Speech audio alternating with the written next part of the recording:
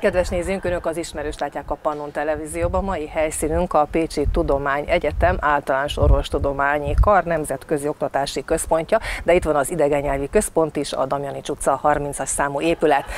A találkozásunk apropója pedig az, hogy most zajlik a Magyar Nyelv és Kultúra Nyári Egyetem, vendégem pedig a program, magyar program vezetője dr. Perc Katalin. Nagy szeretettel köszöntelek ebbe a szép nyári gyönyörű környezetben.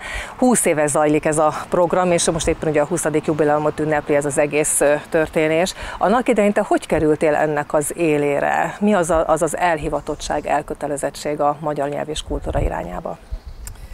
A történet tulajdonképpen külföldön kezdődik, ugyanis 1997-től Göttingenben, Németországban tanultam, és magyart is tanítottam. A véletlen úgy hozta, hogy az egyik professzorom gyermekét kezdtem el magyarra tanítani, és mire hazaértem, addigra a kollégiumba beköltöztem, és várt egy papír, a, egy ilyen kis posztit az ajtómon, a kollégiumi ajtómon, hogy hívjam föl ezt a telefonszámot, ugyanis magyar tanárt ö, kerestek. Így esett meg az, hogy mire hazaértem, addigra már addigra már ajánlottak, hogy érdemes valószínűleg velem dolgozni, és elkezdtem a Nemzetközi Oktatási Központban tanárként tevékenykedni 1999-ben. Aztán az akkori főnököm, dr. Ámosné Kaldiella gondolt egy nagyot, és azt gondolta, hogy, hogy terjesszük ki, bővítsük ki ezt a magyar, mint idegen nyelv programot, és megbízott azzal, hogy találjam ki, hogyan nézzen ki ennek a programnak a felépítése, milyen célcsoportok számára, milyen struktúrában kezdjünk el dolgozni. Ez történt szintén 99 végén, és 2000-ben már elindítottuk 12 fővel és három tanárral az első magyar nyelv és kultúra nyári egyetemet, ami persze nagyon sok változáson ment keresztül, természetes, hogy ez alatt a húsz év alatt azért remélem előnyünkre változtunk, sok mindent tanultunk, vagy vagy ö, sok mindent megújítottunk és rendszerbe helyeztünk. Minden esetre a célkitűzésünk semmit nem változott. Azt szeretnénk, hogy a külföldiek magas szinten jól megtanuljanak magyarul, és nekünk pedig az a dolgunk, hogy minél több olyan nyelvhasználati helyzetet teremtsünk, minél több olyan biztos tudást adjunk nekik, amivel ezt meg tudják tenni. Arról van adat, hogy hány eh, diák vett részt és eh, hasznosította a magyar nyelvet az elmúlt 20 év alatt körülbelül? Természetesen 20, év, 20 éven, vagy évenkénti lebontásban mondjam. Ez a szám az első két évben működtünk teljesen önköltséges alapon, akkor olyan diákok jöttek, akik saját tandíjukat fizették. Egyébként ez természetesen megmaradt végig. Aztán különböző ösztöndíjak segítségével is jöhettek diákok. A nagyugrást a annó Magyar Ösztöndíj Bizottság névre hallgató ösztöndíj lehetőség adta meg, amit azóta a Tempus közalapítvány kezel. Itt országok közötti egyezmény alapján jöhetnek nyári egyetemre is a diákok, ez bárki számára, ahol van országok közötti egyezmény megpályázható. Ösztöndíj, leginkább a külföldön magyar szakos diákok szokták ezt igénybe venni, de nem feltétlen. Ez nem egy, egy kitétel, hogy, hogy magyar szakos diáknak kell lennie annak a pályázónak, aki szeretne ezzel az ösztöndíjjal jönni. Volt idő, amikor Pécs városától is kaptunk ösztöndíjat, örülnénk, ha újra kaphatnánk. Volt idő, amikor Baranya megye is adott ösztöndíjat. Ami még emellett él, az a Pécsi Tudományegyetem saját hatáskörben is néhány diák számára biztosítja, két diák számára biztosítja a nyári egyetemen való részvételt motivációs pályázat segítségével. De leginkább Tempus közalapítvány és a az önköltséges hallgatók teszik ki a hallgatók legnagyobb részét, valamint még a PAC alapítvány két diák számára, két brazil diák számára biztosít ösztöndíjat a nyári egyetemen való részvételnél. A kiválósági program, tehát akik ott úgy teljesítenek, azok a legjobb két diák jöhet el hozzánk nyáron tanulni. Az idei Magyar Nyelv és Kultúra Nyári Egyetem július 21-én nyitotta kapuit, és augusztus 18-áig lehet ezen részt venni. Ez négy hét, ugye gazdag program, sok idő vár a fiatalokra. Hányan vesznek részt idén ezen a programon, és mondjuk hogy zajlik egy napjuk? Mi az, amit ők tanulnak a nyelven kívül? Az idei év egy kicsit a számok bűvöletében is telik, hiszen a 20. nyári egyetemen 100 regisztrált diákunk van, akik közül 20% a visszatérő diák, tehát pont, pont 20 diák az, aki már valamikor régebben is megfordult nálunk. Hogy telik egy napjuk? A napi rendjük viszonylag könnyen lekövethető, ám de igen zsúfolt. 8 óra 15-kor kezdődik az oktatás, és 3-szor 90 percben fél kettőig tanulunk az osztályteremben.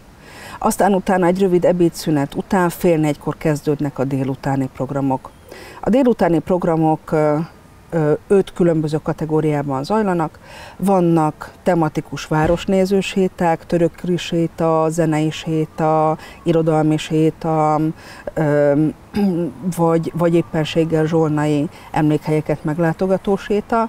Van az úgynevezett ritmusklub, ami azt jelenti, hogy versek, énekek segítségével artikulációt, kiejtést iskolázunk a diákoknak. Van sportklub, mivel az egyik oktatónk Sóskata, ő Pilates oktató is, ezért, ezért aki nem csak ülni szeretne, hanem meg is szeretne mozdulni, természetesen a nyelvtanulást figyelembe véve testrészeket, instrukciókat tanulva el, részt vehet a, a Pilates órákon. Van úgynevezett konzultáció, ahol várjuk az összes diákot, akik szeretnének olyan kérdést föltenni, amit úgy érzik, hogy az órán nem tudnak nagy csoportban, vagy nagy csoportban, kis csoportban, de csoportban megbeszélni rendesen illetve van filmklub, ami mindig tematikus filmklub minden évben. Egy-egy témához tartozó magyar filmeket jár ö, körül, és az idei évben a ö, Fehér Isten, az Egy nap és a Liza Róka Tündér filmek segítségével járják körül a emberi kapcsolatokat és a szerelem és hűség kérdéseit. A klub foglalkozások mellett a hétvégi kirándulásokat is szeretném megemlíteni, mert ezek a hétfőtől péntekig tartó klubfoglalkozások a hétvégén Pécsen kívüli kirándulásokkal egészülnek ki. Ellátogatunk Villányba, Siklós, Siklósra, Mohácsra, a keleti mecsekben túrázunk egyet, részt veszünk a Kisújbányai üveges napon, és átsétálunk Püspök Szent Lászlóra, valamint még meg fogjuk nézni, hogyan, hogyan tud a társaság a sárkányhajókkal boldogulni Orfűn kis történeti visszatekintéssel kezdtük, aztán mindjárt a szórakozásnál tartottunk, viszont egy nagyon fontos dolog, hogy át a tanulás, hogy milyen tanulás, vagy milyen, milyen nyelvi szinteken, hány nyelvi szinten zajlik itt az oktatás. Egy kicsit javítanék, vagy lábjegyzetelném, amit mondasz, mert ez nem feltétlen, tehát a, szórakozás és a tanulás reményeim szerint nem válik ketté. Bármilyen termen, óratermen kívüli programot szervezünk, azt mindig úgy szervezzük, hogy előtte előkészítjük, és ott pedig a helyszínen különböző munkalapok segítségével nem hagyjuk elveszni azt a nyelvi tapasztalatot, amit mondjuk a Siklósi várban meg lehet szerezni. Nyelvi szintekre lebontott munkalapok segítségével nézik meg a várat, jegyzetelnek, feliratokat gyűjtenek, szókincset bővítenek a, a diákok. Még a villányi borkostolón is van olyan munkalap, amit ki kell, ki kell tölteniük, aminek a segítségével reményeink szerint ezek a programok nyelvileg is adnak annyit a diáknak, hogy az élő nyelvi használatot a valós tanulási helyzetbe be tudják emelni. Ha a tanulásról vagy a módszertanról ejthetek szót, akkor a, hogyha az osztálytermen kívüli programokból indulunk ki, ezt úgy hívjuk, hogy élmény alapú oktatás. Ezt párosítottuk a modell alapú oktatással, amit Cita Szilvia kolléganőmmel fejlesztettünk ki, és olyan módszertant alkalmazunk, aminek a segítségével a diákok a természetes nyelvhasználatot, a valós nyelvi környezetből származó nyelvi minták alapján fogják tudni összerakni azokat az ismereteket, amiket természetesen a nyelvórán megtámogatunk, alátámasztunk olyan grammatikai, lexikai vagy pragmatikai ismeretekkel, hogy ezt sikeresen tudják rögzíteni is. Ez a Magyarok Tankönyvcsalád, amit írtatok, ez már a kezdet-kezdetén sikerült ezt a módszert, vagy ezt mennyi, nem, hány éve nem, dolgoztátok nem, ki? Nem, nem. Kezdet-kezdetén ö, még más tankönyvet ö, ö, használtunk, sőt utána még egy magyarokat megelőző tankönyvet is írtunk, tulajdonképpen annak a segítségével tanultunk meg írni, ö, vagy tananyagot készíteni, de amint mondtam, azért a nyári egyetem is sokat változott. A Zita Szilviával körülbelül 2004 körül ismerkedtem meg, és gyorsan kiderült, hogy nem csak ugyanazt gondoljuk a, a tananyag készítésről, nem csak ugyanazt gondoljuk a nyelvoktatásról, hanem tud, jól is tudunk együtt dolgozni, ezért először az akadémia kiadó gondozásában egy tematikus szókincstárunk jelent meg, ami, ami a mintamunka volt, hogy tényleg tudunk együttműködni, utána pedig elkezdtük a módszer kidolgozását és a Magyarok Tankönyv család kidolgozását. Arra gondoltunk, vagy az volt a szent elhatározásunk, hogy olyan nyelvkönyv családot szeretnénk írni, ami egészen a felső fokig elviszi a hallgatókat. És az idei őszön fog megjelenni ennek a tankönyvcsaládnak az utolsó része, úgyhogy tulajdonképpen már mondhatjuk, hogy a terv sikerült. Természetesen még a modellalapú oktatás bevezetése, továbbvitele az egy nagy falat, amivel sok tennivalónk van, de a tankönyvcsaládot az idei évben le fogjuk zárni. Úgy tudom, itt az oktatóknak, tanároknak is van egy továbbképzés, a harmadik héten a hatodik magyarok módszertani továbbképzés. Ezzel már nem is gondolná, hogy még erre is szükség van, tehát ezen a szinten is szükség van továbbképzésre. Hogy zajlik ez, mire lehet számítani itt a tanároknak, és igazából kik oktathatnak ezen a nyári egyetemen, csak a Pécsi Egyetemen oktató tanároknak, vagy esetleg középiskolai tanároknak is, vagy mi a módja ennek? A hatodik kezdem inkább máshonnan. Amikor a Magyarok Tankönyvcsaládot elkezdtük megírni, akkor arra gondoltunk, hogy a tankönyv anyaga meg fogja mutatni azt, hogy hogyan kell azzal dolgozni. Aztán menet közben kiderült, hogy ez nem feltétlen egyértelmű, hiába van tanári kézikönyv, vagy nagyon komoly webes támogatottság hozzá. A tanároknak nagyon sokat segít, hogyha elmondjuk, hogy miként, milyen módszerek és milyen alapelvek mentén tudnak dolgozni. Kezdetben valóban a saját tanáraink számára hirdettük meg ezt a tanártovábbképzést. Ezt a célt azóta is szem előtt tartjuk, hogy a modellalapuságnak a Nemzetközi Oktatási Központ legyen egy referencia műhelye, de természetesen, ahogy az érdeklődés egyre szélesedett, úgy megnyitottuk ezeket a kapukat, úgyhogy körülbelül 30, 30 tanár, tanár fog érkezni erre a továbbképzésre idén, 10 különböző országból. Ami azért nagy szó, mert hogy ezt a továbbképzést, ahol a modell alapú oktatási technikákat mutatjuk be évről évre más-más aspektusból, e, megtisztelik azzal a tanárok, ezek magyar, mint idegen nyelvtanárok, nem csak Magyarországról, hanem, hanem határon túlról is. Megtisztelik azzal a tanárok, hogy szabad idejüket és saját anyagi forrásokat mozgósítva eltöltenek velünk ennyi időt. Amit azért is külön köszönök, mert hogy a helyek már gyakorlatilag márciusban feltelnek, több embert nem tudunk hatékonyan oktatni ezen a, ezen a szinten, tehát ez pedig azt mutatja, hogy igen, szükség van a módszertani megújulásra, és szükség van arra, hogy, hogy meg is mutassuk azt, hogy miként lehet um, dolgozni, vagy milyen variációs lehetőségekkel lehet um, talán hatékonyabbá tenni a nyelvoktatást.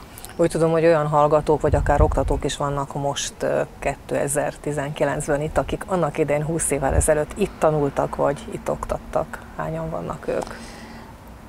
Valóban azt gondolom, hogy az egyik legnagyobb eredmény, vagy legnagyobb büszkeség az, hogy az a három oktató, aki 2000-ben elkezdte a magyar, mint idegen nyelv Magyar Nyelv és Kultúra Nyári Egyetemet, mind a hárman itt dolgozunk a mai napig, tehát mind a hárman némi megszakítással, néhány vargabetűvel, gyerekek születtek, külföldi tanulmányot, néhány vargabetűvel, vagy néhány rövidebb szünettel a mai napig együtt dolgozhatunk ezen a programon.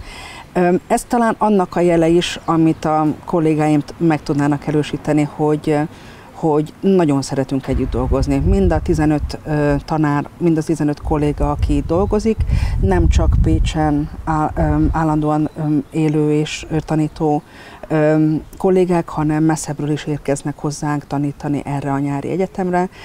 Egy olyan csapatot raknak össze, akik, akik nagyon intenzíven tudunk ebben a hónapban együtt élni, sok mindent kipróbálni, amihez egyébként a szemeszteres mókuskerék nem mindig ad megfelelő környezetet, és nagyon jól tudunk együtt dolgozni, egymás segíteni, és odafigyelni egymásra a három ősmagból ki a másik kettő? Büki Bernadettnek és Gazdag Zsuzsának hívják a két kolléganőmet, akiknek nagyon hálás vagyok, hogy, hogy együtt, együtt dolgozhatunk velük. Egyébként a világ mely tájairól, gondolom tíz országból biztos, hiszen az oktatók is tíz országból jöttek, de lehet, hogy sokkal több országból vannak itt diákok. Más kontinensekre is lehet azt, azt nagyjából tudni, hogy és nem biztos, hogy fel kell sorolni mindazt a tizenvalahányat. Hát ha kontinens nézzük, igen. Ö, olyan szempontból, hogy hol vannak, honnan jöttek a legtöbben, akkor az első számú az Európa, a második számú az Ázsia, a harmadik számú az, az Amerika, a negyedik számú az Afrika, és az ötödik számú pedig Ausztrália. Ezekből, ezekről a kontinensekről mind-mind vannak diákjaink az idei évben. Ezeknek a diákoknak lehetőség van a felső fokig eljutni, a legfelsőbb szintre a magyar nyelv tanulása terén. Van rá példa jellemző, hogy annyira tetszik egyik másiknak, hogy úgy gondolja, hogy ebből akár később még profitálhat is? Természetesen. Természetesen. Mennyire? Diákjaink jelentős része egyébként nem egyetemista. Tehát most már most már körülbelül fele-fele az, aki a munka vagy éppen az élethelyzetének megváltozása miatt tanulja a magyar nyelvet, és a másik fele az, aki egyetemistaként tanul magyarul. Fordítók tipikusan a diákjaink között vannak olyan emberek, akik Magyarországot választják hazájuknak, megfordulnak nálunk rendszeresen, de a motivációk közül természetesen azért a származási nyelv is megjelenik rendre a diákok körében. Beszéltünk már a programokról, a lazításról, ugye négy hétről van szó, harmadik hétről, a továbbképzés zajlik, és az ilyen szórakoztató programok azok inkább a hetek, tehát az idő múlásával, amikor a negyedik hétre redukálódnak, vagy pedig naponta is van? Minden nap. Minden nap is Minden van. hétfőn tematikus séta, minden kedden filmklub, minden szerdán sportklub, és így tovább, a hétvégén pedig a kirándulások. Az ő elszállásolások hogy történik az egyetem részéről? Két helyen kaphatnak szállást, az egyik a, mind a kettő mellettünk található, mind a kettő kettő percen belül megközelíthető. Az újonnan felújított Damnyanis utca 30 kollégium, ami itt a kertben mögöttünk van 50 méterre, illetve a Boszorkány kollégium, mivel a Damjanis kollégiumban nem férnénk el, ezért a Boszor, Boszorkány kollégium néhány szobáját is elfoglaljuk erre az egy hónapra. Az oktatóknak, tanároknak szükséges-e naponta felkészülni, úgy mondjuk, mint egy ilyen normál egyetemi vagy középiskolai tanárság során? Teljes egészében. Sőt, a helyzetüket talán nehezíti, vagy éppen könnyíti az, hogy egy-egy csoportot három tanár tanít. Tehát a tanmenetet követve nem csak az aktuális órát kell úgy megcsinálni, hogy a, hogy a tanmenettől ne térjenek el, hanem át is kell adni az aktuális óra eseményeit a következő tanárnak. Tehát ez egy folyamatos konzultációt igényel tanárok között, de mint mondtam, eléggé jól tudunk együtt dolgozni. Vannak összeszokott hármasok, akiknél eléggé flottul megy a munka, hogyan tudják átadni egymásnak az információt, és hogyan tudnak naponta frissíteni azon, hogy mi fog történni a következő napon. Az elején elhangzott hogy kapnak egy-egy feladatlapot kitöltésre, hogy az ő szintjüknek megfelelően naponta kapják ezt, vagy pedig amikor egy bizonyos tananyag egységnek a végére érkeztek? Van egy mappánk, amit a Kolos Lilla kolléganőnk rajzolt, aki egyébként a filmklubot is tartja. Van egy mappánk, ami a nyári egyetem legfontosabb programjait összegzi, dizájnban is, és tartalomban is. Tartalomban itt, itt kapják meg a praktikus információkat, a tanárok elérhetőségét, és az összes programhoz tartozó munkalapokat, amiket ebbe a mappába gyűjthetnek. Szeretnénk azt elkerülni, hogy az órák úgy zajlanak, hogy hogy különböző fénymásolt lapokkal dolgoznak a hallgatók, amiket utána semmire nem használnak. Szerintünk ez nagyon hátráltatja a nyelvoktatást, és az esőerdőknek sem használ. Ezért próbálnánk a tananyagot előre végig gondolni, mappába rendezni, illetve tankönyvbe rendezni azokat a tudáselemeket, amiket szeretnénk átadni. Ők a tankönyveket megkapják? Igen. Ingyenesen kapják Igen. ők ezt meg? Igen. És maga a nyári egyetem is ingyenes számukra? Hát az ösztöndíjasoknak igen, akik fizetnek, ők pedig, ők pedig kifizetik a tandíjukkal együtt a, az oktatási tananyagot is. Vannak rendszeresen visszatérő diákok, hallgatók? Igen. Már több éve? Igen. Igen. Mi a jellemző? Hány éve járhatnak vissza? Vagy, vagy van egy, egy meghatározott megkötés, hát, hogy meddig lehet? Nem, nincsen. Tehát addig iratkozik be, ameddig ő szeretne. Van olyan hallgatónk, akiről tudom, hogy nyitott már külön bankszámla, alszámlát a nyári egyetemre, ahova minden hónapban utal át valamennyi pénzt, hogy el tudja jönni nyáron hozzánk. Van olyan hallgatónk, aki már most bejelentkezett a 21. nyári egyetemre. Igen, tehát van, ez a, van egy olyan társaság, aki szabadságként, intenzív szabadságként a nyári egyetemet választja. Talán újdonság, hogy, hogy felfedeztek bennünket a családok is. Egyre több olyan család érkezik, ahol a szülők és a gyerekek is beülnek a padokba tanulni. És gyerekprogramokat is akkor Nem, nem, kapnak? tehát a gyerekeket úgy értsük, hogy mondjuk 20-21 éves második generáció, és az ő szüleik, tehát nem gyerekoktatással a nyári egyetemen nem foglalkozunk. Tán 15 éves volt a legfiatalabb hallgatónk, de ő is az édesapjával érkezett tanulni, tehát alapvetően felnőtt oktatás az a mi tapasztalatunk, vagy az, ami, az, ami a tapasztalat, az, ami Elsősorban felnőtt oktatással foglalkozunk. Akkor augusztus 18-áig bőven lehet tanulni, meg szórakozni. És Ez így van. Játszva tanulni, szórakozva tanulni. Köszönöm szépen. Kedves nézőnk, Önök az ismerős látták, tartsanak velünk legközelebb is, viszontlátásra.